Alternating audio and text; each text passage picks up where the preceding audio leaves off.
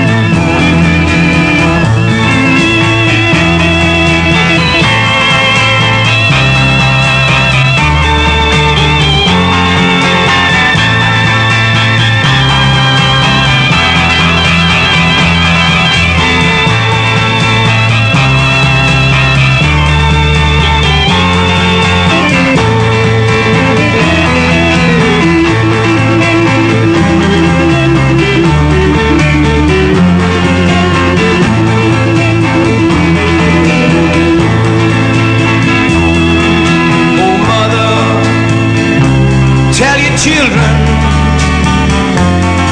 not to do what I had done.